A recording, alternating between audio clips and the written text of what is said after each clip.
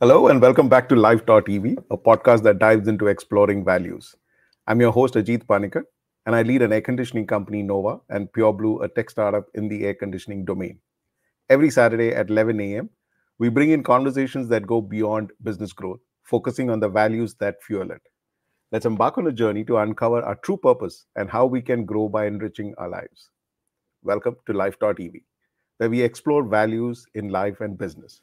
And as always, I have with me Vivek Asrani. Hi, Vivek. How are you doing? Hey, Ajit. Good to be back on your show. How are you doing? Absolutely good, Vivek. To some of you who are joining us for the first time, Vivek Asrani is the driving force behind Kamo Fastener Company, a trailblazing company in the industrial fastener sector. What sets Vivek apart is his deep engagement with exploration of values. It's been over four years he has dedicated, dedicatedly penned his reflections on this topic every week. These insightful thoughts are accessible on his website, vivekasrani.com. Additionally, Vivek has authored the book One Day at a Time Reflections from Times of Silence, which further delves into his journey and insights. This thought provoking read is available on Amazon or on his website, offering readers a chance to engage with his profound understanding of values and their role in both personal and professional lives. Well, in today's episode of Life.ev, we are delving into building endurance. Vivek, let's hear your reflections on building endurance. I think one of the most important things uh, we need as we navigate through life, uh, Ajit. So endurance is clearly at two levels. One is at the physical level, and the other is at in the inner level, which is the mental, emotional, and intellectual level. I think physical endurance is easy to understand. You know, to build our strength, stamina, what we need to do, why it's important, because we go through that, and all of us are very familiar with the uh, physical aspect of endurance. But true endurance, as we all understand and we know it, is our inner uh, endurance. So, what does it really take to build our uh, emotional and intellectual endurance? So, first thing, Ajit, is a realistic assessment of our real- reality. That where do we really stand and what is the real situation? The one thing that builds our endurance is removing the unrealistic expectations from the situation. Uh, very often, we are not honest enough with our assessment. Often, we keep thinking of what we want things to be and we don't face reality the way it is and sometimes you know we just have this optimism which is so unrealistic you know and we fool ourselves to say no no i always need to be positive and optimistic which is absolutely correct but not at the cost of losing sight of reality so making sure that we have a realistic assessment of our reality is very critical to build endurance. The second is acceptance of the situation. When things happen to us, very often we get into the mindset as to why me. We need to shift from why me, which is victim mode, to now what, which is the endurance mode. And when we do that, we start unleashing a certain level of innovation, creativity, inner strength, because we are now feeding energy to the solution rather than you know dwell, dwelling upon why is it that something happened to me. The third is recreation.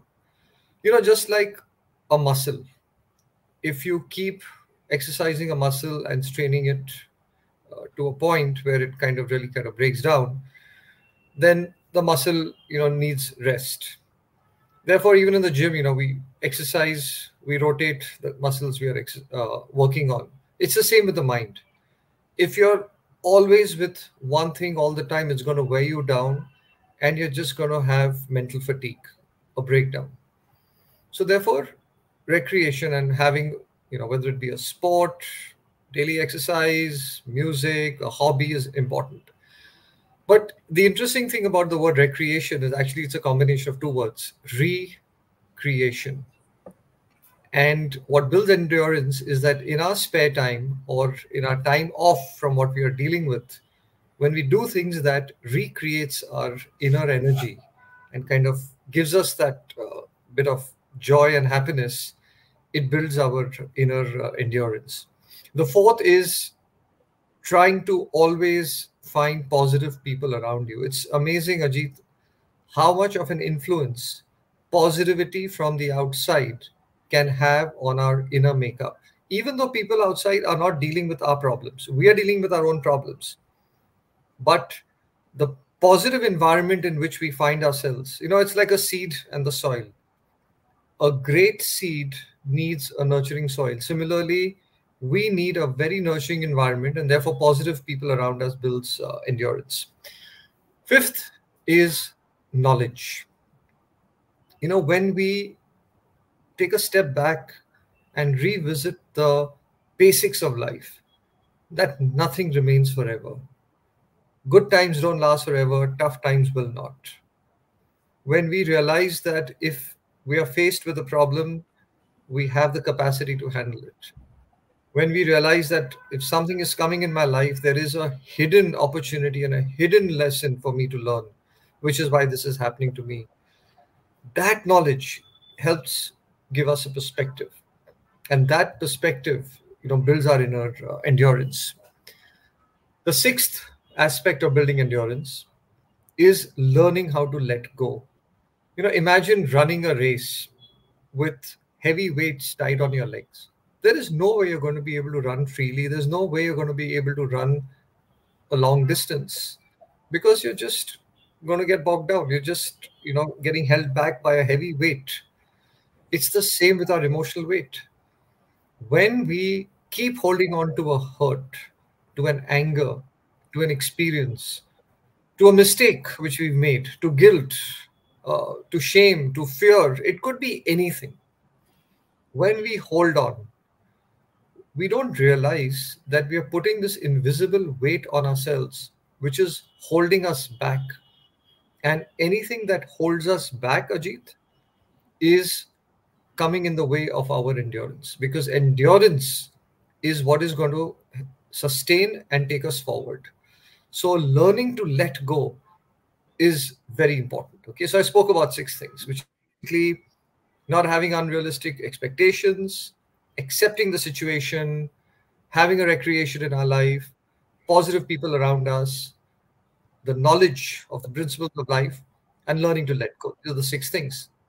And the seventh and most important is notwithstanding any of the above six, we need spiritual stamina to build our inner endurance. 10 minutes of sitting in silence in whatever form of whether we believe in a higher uh, you know praying to that or in our own way just being centered in ourselves you know it's amazing how much of strength that inner connect builds uh, within us. We don't realize it. And we just you know it sounds very simplistic. And you might say vivek you're just simplifying the whole thing. You know we have major problems in the world we face. And you're saying sit silent for 10 minutes every day and the problems will disappear? Problems will not disappear. Our ability to handle the problem will become bigger than the problem. So spiritual stamina builds our endurance amazing vivek vivek can you share some you know have one of the biggest challenges you have faced that tested your endurance uh, yeah i can i can think of two periods in my life uh, in the not so uh, distant past. So, one was in 2008 when the world went through this whole global meltdown. If you remember, it uh, hit India somewhere, if I remember right, May, June. So, in June 2008, the first signs of the global meltdown had started coming to India. We were holding inventory and we deal in you know steel products steel prices crashed then give or take about 40% so we were left holding stocks at a very high price. Demand had collapsed, and we saw demand falling off about 40%. 14 people from my company left us to join competition in those six months. So, with all of this happening, customer retention became a bit of a crisis, cash flow was a crisis, profitability was a crisis, and it was one of the toughest situations uh, I had ever faced. We had contracts with our uh, foreign suppliers, and they in turn had bought material based on our promise and commitment. And I knew that if we took delivery of that, we would end up making huge losses. But I also knew that if we uh, didn't take delivery and we went back on our commitment, I would lose my long term reputation and goodwill we took delivery of every contract that we had signed, uh, you know, at a major loss and a major cost at that point of time. And as a, as a businessman, Ajit, you understand that when something like this happens, the impact remains in the system for months, if not years together. So that was a very trying period for us. But I think what really helped me, if you if I look back, uh, and I had enough sleepless nights then, was again we went back to the basics and literally took it one day at a time one dealer call one customer call making sure nobody left us went back to the supplier said okay we're taking delivery of all this but for future contracts we need your support because we're taking a big hit had conversations with the rest of the team internally scaled down some uh, uh, costs uh, spent a lot more time in just bring trying to bring in more business and within about three to four months or six months, we found from a negative things were stabilizing, and it took us another six months for things to, you know, turn around. But the one, the one lesson I learned through all of that was never quit. Just hang in there. Had I lost my nerve, had I just given up and thrown in the towel, uh, I think we would have just had to shut the business the one thing I learned through that entire experience, no matter how strong the storm, no matter how dark the tunnel, just hang in there and keep moving one step at a time, no matter how small that step is, but just hang in there. And you don't know how things turn around in your favor. Amazing. But, um, you know, Vivek, this also, you know, kind of gets me a question as to when you say endurance, you know, and the way you're speaking, it like, you know, oh, it's tough times. You know, it's tough times coming, and how do we handle these tough times? But it also brings me to a question as to is there an opportunity in this? Can we take these moments and convert it positively? And how do we benefit from this kind of situations? You know, have you ever looked at these things as, you know, okay, it's, it's, something positive that I'm going to gain out of it? Yes. Uh, well, let's be honest. When a challenge comes to us in our life, it is not easy to handle which is why we use the word challenge, right? Uh, and we know that we're going through a difficult period because deep down, all of us want to be happy. And anything that comes in the way of our happiness and disturbs that inner equilibrium is what we call undesirable, a challenge. Why am I facing this? And you know, why is this happening to me? So to start off with, let's first recognize and accept that a challenge is something that we typically didn't really want in our life. Which is why then we talk about how do I build my endurance to face it and uh, the resilience to, uh, you know, uh, make sure that I overcome the challenge. But there's another way of looking at it, Ajit. We want great health. And what do we do for that? We go to the gym. In the gym, what are we doing? We are putting our physical bodies through a challenge to a level of pain to a level where we are kind of sometimes you know grunting and saying oh my god and like really pushing really pushing. And at the end of that exercise session where we are pushed to the hilt what do we say after that hour hour and a half? Wow what a great workout i had right? And we go back to the gym the next morning to be pushed even harder to build muscle so that we not only look good, but we feel good. Accept it. So, why is it that we don't take the same uh, when challenges come in our life to say, wow, this world is my gymnasium. And every day there is going to be an exercise routine. And this exercise routine is going to be great for my emotional and intellectual strength, which is going to come my way. So I am going to give it my best, push a little more than I could do yesterday. And at the end of the day, sit back and say, wow, you know, uh, we did this. I, I, am feeling good about it. And I'm feeling now stronger and I'm looking forward to some uh, challenge uh, tomorrow. So, in a positive way, I've done this when we have disrupted status quo in our business and taken on new products, new markets as a challenge, knowing we're stepping out of our comfort zone in terms of sometimes profitability, cash flow, uh, manpower, team, and all of that. And after a few weeks or months, uh, looked back and said, wow, what an experience we went through. And great. We're feeling good about this and we're feeling stronger about this. That's one. And very often, when something has happened to me, I've sat back and said, look, I may not understand why it's happening to me, but I do have the faith that there is a hidden reason. So I'm not going to sit and think about, again, not why me, but move to now what. And, you know, very often, and I remember when we were doing the largest project, which was setting up a factory in Ambernath. I went through a period where the size of the project, Ajit, was way beyond what we would have signed up for had we started off in a very uh, intellectual, calculating manner. I'm, I'm not saying we shouldn't, but I'm saying it was one of those things that we just did because it just felt right. Okay.